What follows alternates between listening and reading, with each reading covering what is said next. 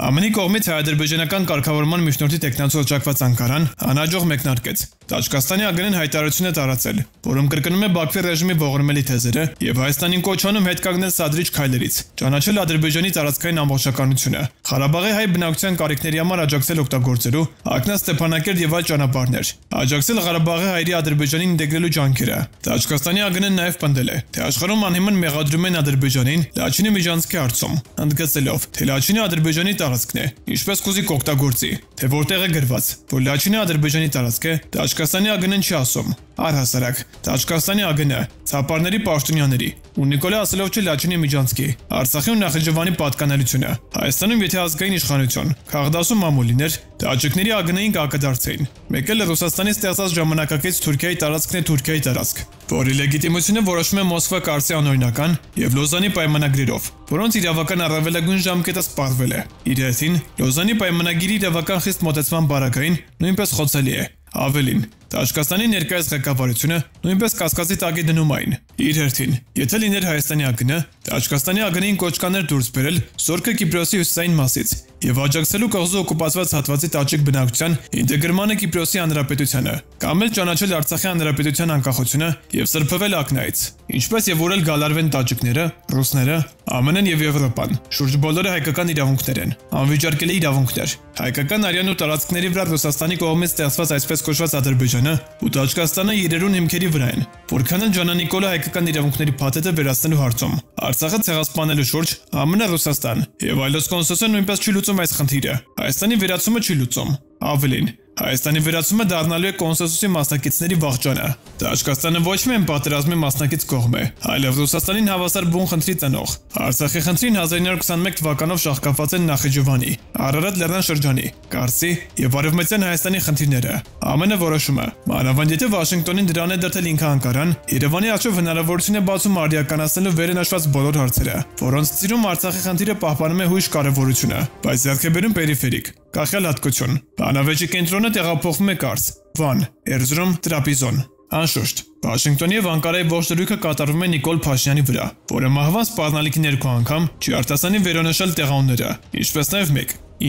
9, 2, նորից 1 թվականները իրար հետևից։ Բայց այստեղ առաջանում է հայ հանրային կարծիքի բյուրեղացման եւ Փաշինյանի իշխանության կայունության խնդիրը, ինչպես էլ ընդհանան բանակցները, ինչն է լինի Փաշինյանի քաղաքական ճակատագիրը։ Վաշինգտոնի առաջարկած ձևաչափով Տաճկաստանը թաթախված կլինի 1921 թվականի խնդրի մեջ եւ Հայաստանի նոր իշխանությունների առջև արդեն կայտնվի ծայրահեղ աննպաստ դիրքում։ Գորշ գայլերը սկսել են ընդդեմ Ռուսաստանի իրականացնել սադրիչ քայլեր։ Slim KTM-ը գրում է. Թուրքիայի Գորշ գայլեր ազգայնական կազմակերպության քաղաքական թևը ներկայացնող ազգայնական շարժում կուսակցությունը կրկին իրականացնում է սադրիչ եւ հակառուսական քայլ։ Այս անգամ կուսակցության կողմից պաշտոնական ողջեկոչվել է չեչենական անջատողական շարժման առաջնորդ Ջոհար Դուդաևի հիշատակը, որ Ռուսաստանում համարվում է ահաբեկիչ։ Նշենք, որ 1996-ի ապրիլի 26-ի այսօրը Դուդաևը սպանվեց ռուսական հատուկ ծառայությունների կողմից կողմից։ Ընդ որում հրապարակման մեջ Դուդաևի լուսանկարի կողքին պատկերված է եղել Գորժ գայլերի հիմնադիր հայատյաց թուր գործիչ Ալփասլան Թյուրքեշի լուսանկարը։ Հիշեցնենք, որ Ռուսաստանում ավելի վաղ լուրջ դժգոհություն էր առաջացել, նաև դատապարտվել էր Թուրքիայում Դուդաևի անվան զբոսայգու բացումը։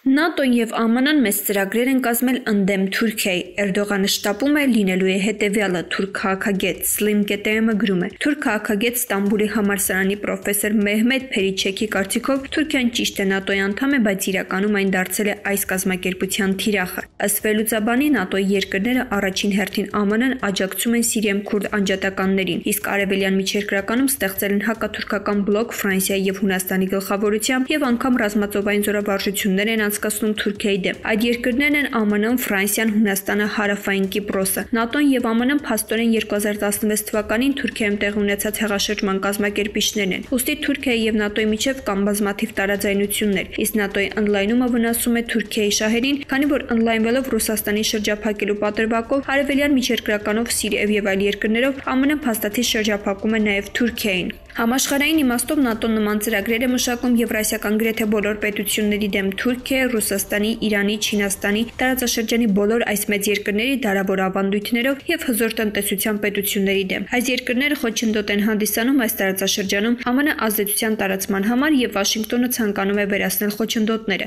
Այս առումով Անկարան, Մոսկվան, Թեհրանը, Բաքուն եւ Պեկինը պետք է համագործակցեն միմյանց հետ իրենց ազգային շահերն ապահովելու համար, ամփոփել է թուրք քաղաքագետը։ Էրդողանի վախերը Թուրքիան գործադրում է իր բոլոր ջանքերը։ Armblog Info կետրոն գրում է. Ինչպես հայտնի դարձավ Slim News-ին, ըստ թուրք քաղաքագետ Անկարայի համալսարանի պրոֆեսոր Թոգրուլ Իսմայելի, Թուրքիայի համար ամենագլխավորը նոր պատերազմներ թույլ չտալն է։ Առաջին հայացքից կարող է թվալ, որ Թուրքիայի նախագահի նման տեսակետը ինչ որ կերպ աջակցում է Ռուսաստանին, բայց պետք է նշել, որ այն փուլում, երբ Ռուսաստանը պատերազմ է մղում Ուկրաինայի դեմ, վերջինիս մեղադրելով ՆԱՏՕ-ի անդամ դառնալու ձգտման մեջ եւ հայտարարում, որ Շվեդիայի եւ Ֆինլանդիայի անդամակցությունը ՆԱՏՕ-ին կարմիր գիծ է, այս պարագայում չի կարելի չընդունել եւ հաշվի առնել այն փաստը, որ այդ երկրների մուտքը Հյուսիսատլանտյան դաշինք շատ լրջորեն կբորբոքվի ՆԱՏՕ-ի եւ Ռուսաստանի միջև իրավիճակը։ Թուրքիան այս ամենը հաշվի առնում, չէ՞ որ այդ ամենը ուղիղ կազդի նաեւ Թուրքիայի վրա, ասել է քաղաքագետը։ Նրա խոսքով ի տարբերություն եվրոպական մյուս պետությունների Թուրքիան լրջորեն տուժում է այդ ռազմական գործողություններից։ Դրանք խաթարում են Թուրքիայի տնտեսական կապերը, պատերազմ ուղղակիորեն ազդում է Թուրքիայի տնտեսության եւ նրա ռազմական ներուժի վրա։ Շվեդիայի եւ Ֆինլանդիայի անդամակցությունը ՆԱՏՕ-ին ամենայն հավանականությամբ կսկսի ռազմական գործողությունների նոր փուլ ՆԱՏՕ-ի եւ Ռուսաստանի միջև։ Իսկ Թուրքիայի համար որպես միջտոր կարևոր է հնարավորինս շուտ դադարեցնել ռազմական գործողությունները, նպաստել հակամարտության խաղաղ կարգավորմանը։ Դրա համար Թուրքիան գործադրում է իր բոլոր ջանքերը, ինչ որ պահի Անկարայի նույնիսկ գրեթե հաջողվեց կողմերի միջև փոխհմբռնման կամուրջ հաստատել։ Սակայն արևմտյան երկրների միջամտությունը դարձյալ հանգեցրեց հակամարտության հերթական բռնկմանը, նշել է քաղաքագետը։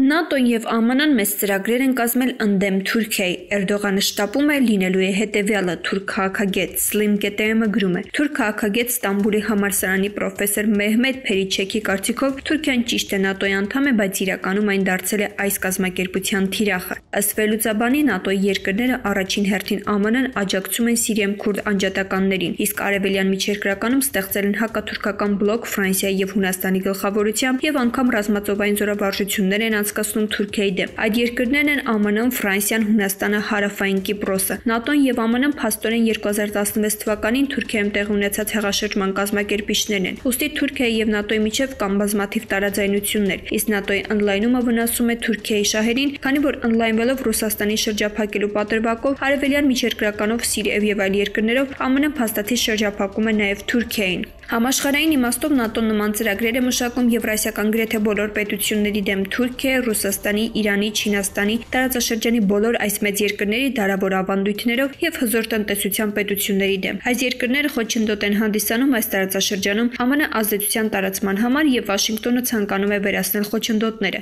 Այս առումով Անկարան, Մոսկվան, Թեհրանը, Բաքուն եւ Պեկինը պետք է համագործակցեն միմյանց հետ իրենց ազգային շահերն ապահովելու համար, ամփոփել է թուրք քաղաքագետը։ Էրդողանի վախերը Թուրքիան գործադրում է իր բոլոր ջանքերը։ Armblog Info կետրոն գրում է. Ինչպես հայտնի դարձավ Slim News-ին, ըստ թուրք քաղաքագետ Անկարայի համալսարանի պրոֆեսոր Թոգրուլ Իսմայելի, Թուրքիայի համար ամենագլխավորը նոր պատերազմներ թույլ չտալն է։ Առաջին հայացքից կարող է թվալ, որ Թուրքիայի նախագահի նման տեսակետը ինչ որ կերպ աջակցում է Ռուսաստանին, բայց պետք է նշել, որ այն փուլում, երբ Ռուսաստանը պատերազմ է մղում Ուկրաինայի դեմ, վերջինիս մեղադրելով ՆԱՏՕ-ի անդամ դառնալու ձգտման մեջ եւ հայտարարում, որ Շվեդիայի եւ Ֆինլանդիայի անդամակցությունը ՆԱՏՕ-ին կարմիր գիծ է, այս պարագայում չի կարելի չընդունել եւ հաշվի առնել այն փաստը, որ այդ երկրների մուտքը Հյուսիսատլանտյան դաշինք շատ լրջորեն կբորբոքվի ՆԱՏՕ-ի եւ Ռուսաստանի միջև իրավիճակը։ Թուրքիան այս ամենը հաշվի առնում, չէ՞ որ այդ ամենը ուղիղ կազդի նաեւ Թուրքիայի վրա, ասել է քաղաքագետը։ Նրա խոսքով ի տարբերություն եվրոպական մյուս պետությունների Թուրքիան լրջորեն տուժում է այդ ռազմական գործողություններից։ Դրանք խաթարում են Թուրքիայի տնտեսական կապերը, պատերազմ ուղղակիորեն ազդում է Թուրքիայի տնտեսության եւ նրա ռազմական ներուժի վրա։ Շվեդիայի եւ Ֆինլանդիայի անդամակցությունը ՆԱՏՕ-ին ամենայն հավանականությամբ կսկսի ռազմական գործողությունների նոր փուլ ՆԱՏՕ-ի եւ Ռուսաստանի միջև։ Իսկ Թուրքիայի համար որպես միջտոր կարևոր է հնարավորինս շուտ դադարեցնել ռազմական գործողությունները, նպաստել հակամարտության խաղաղ կարգավորմանը։ Դրա համար Թուրքիան գործադրում է իր բոլոր ջանքերը, ինչ որ պահի Անկարայի նույնիսկ գրեթե հաջողվեց կողմերի միջև փոխհմբռնման կամուրջ հաստատել։ Սակայն արևմտյան երկրների միջամտությունը դարձյալ հանգեցրեց հակամարտության հերթական բռնկմանը, նշել է քաղաքագետը։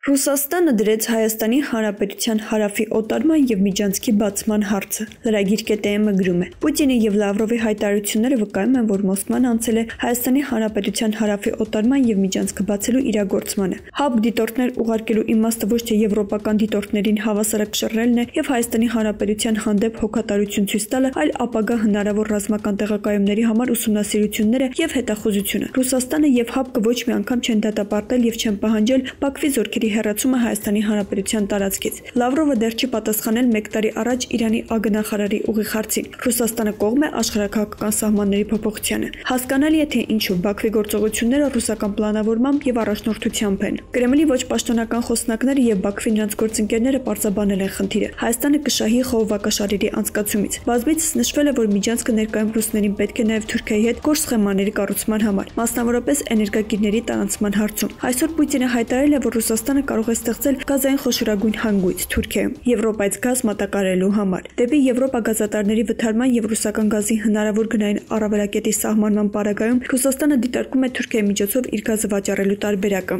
Քանի որ եվրոպական շուկայում կորուստները հնարավոր չէ փոխհատուցել այլ շուկաներում, ռուսական գազը կվաճառվի որպես թուրքական։ Մոսկվան հույս ունի, որ այդպիսով Եվրոպան, որը կանգնած է էներգետիկ լուրջ խնդիրների առաջ, աճ կփակի այդ հանգամանքի վրա։ Այդ դեպքում անհրաժեշտ են նոր հաղորդակցություններ, ինչի համար էլ անհրաժեշտ է միջանցքը։ Եվ ինչպես խոստովանել է նույնիսկ Նիկոլ Փաշինյանը, դրա համար Ռուսաստանին խիստ անհրաժեշտ էր Արցախի եւ Հայաստանի հարավի օտարումը։ Պրահայից հետո էլ Փաշինյանը հայտարարեց, որ Ադրբեջանը համաձայն չէ հաղորդակցությունների բացման հայկական առաջարկին եւ պնդում է միջանցքը։ Ինչ անեմ, չի ստացվում այդպիսի տոնով։ Պուտինի օկնականը հայտարարել է, որ Աստանայում Պուտինը հանդիպելու է Ալիևի հետ։ Միևնույն ժամանակ ռուսական կողմն առաջարկում է Պուտին-Ալիև-Փաշինյան երակողմ նոր հանդիպում անցկացնել։ Հայ-ադրբեջանական կարգավորմանը ԱՄՆ-ի եւ Եվրամիության ներգրավվածության դեմ կոշտ հռետորաբանությունը, չնայած Պուտինի այդ նույն օկնականի խոսքով քննարկվում է նույն ռուսական օրակարգը։ Հայաստանին պատերազմով սպառնալիքները ընդཐུպ Ռուսաստանի Դաշնության ԱԳՆ մակարդակով։ Ղրիմի կամուրջի պայթյունի հայկական հետքի թմկահարումը ռուսական մեդիա հարթակում հայ ռազմագերիների գնդակարության տեսանյութերի տարածումը աշուրթայության դեմ հիբրիդային պատերազմի ու ճնշման շղթայի օղակներն են ռուսական պլանին համակերպելու համար։ Երևում է իրենց ագենտուրային իշխանության եւ ընդդիմության ջանքերը բավարար չեն։